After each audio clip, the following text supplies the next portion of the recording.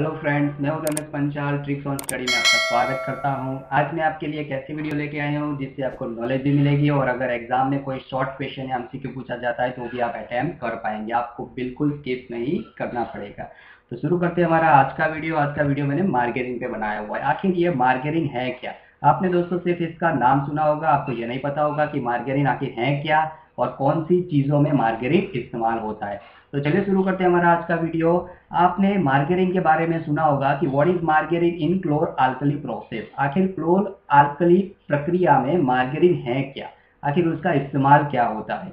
ठीक है दोस्तों तो सबसे पहले मैं छोटा सा ये समझा देता हूँ कि क्लोर आल्कली प्रक्रिया क्या है।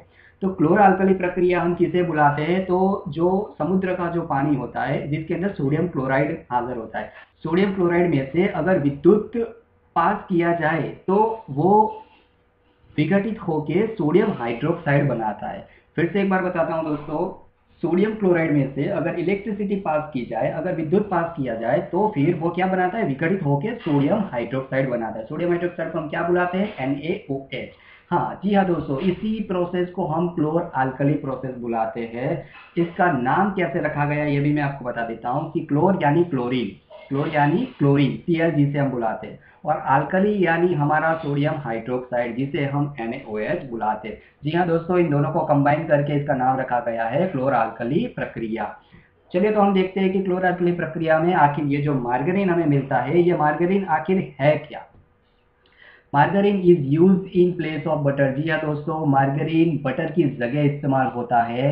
अगर बटर कहीं पे इस्तेमाल ना करना हो तो उसकी जगह हम मार्गरीन का इस्तेमाल भी कर सकते हैं। चलिए और यूजेस देखते हैं, आखिर मार्गरीन का और कौन कौन सी जगह पे इस्तेमाल होता है। It is use for flavouring and cooking जी हाँ फ्लेवर और कुकिंग के लिए भी मार्गरीन का इस्तेमाल होता है। या किसी मिठाई वगैरह में या किसी पिज़्ज़ा में वगैरह में फ्लेवर इस्तेमाल करना हो तो हम मार्गरीन का इस्तेमाल कर सकते हैं। और उसके इंग्रीडियंट्स हमें दिए हुए हैं पेस्ट्रीज में भी इस्तेमाल कर सकते हैं केक्स में इस्तेमाल कर सकते हैं कुकीज़ में भी कर सकते हैं। और ख़ास ये इसका सबसे ज़्यादा इस्तेमाल होता है डॉगनट्स में।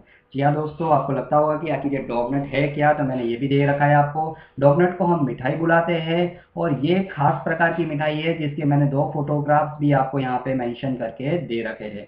ये जो गोल गोल वाली मिठाई होती है, उसी को हम डॉगनट बुलाते हैं। जी हाँ दोस्तों, मिठाई तो बहुत सारी होती है, मगर वो सारी जो मिठाई होती है, उसे हम डिजर्ट बुलाते हैं। क्या बुलाते हैं? डिजर्ट मगर ये जो टाइप की, इस टाइप की मिठाई होती है, उसे ही हम डॉगनट बुला सकते हैं। बाकी किसी मिठाई को हम डॉगनट नहीं बुला सकते तो ये डॉगनट्स मिठाई में ही सिर्फ़ माइग्रेन इस्तेमाल होता है। तो दोस्तों, मेरा ये वीडियो अगर आपको पसंद आया तो प्लीज़ शेयर कीजिए सब्सक्राइब करना ना भूलिए और लाइक बटन ज़रूर दबा दीजिएगा। और अगर आप चाहते हैं कि मैं ऐसे ही आपके लिए बहुत सारे वीडियो बनाते रहूँ तो मुझे प्लीज़ कमेंट करके बताइए। आप मुझे अपना टॉपिक भी दे सकते हैं, मैं उससे पूरी कोशिश करूँगा वीडियो बनाने के लिए। मेरा ये वीडियो देखने के लिए आपका बहुत बहुत धन्यवाद।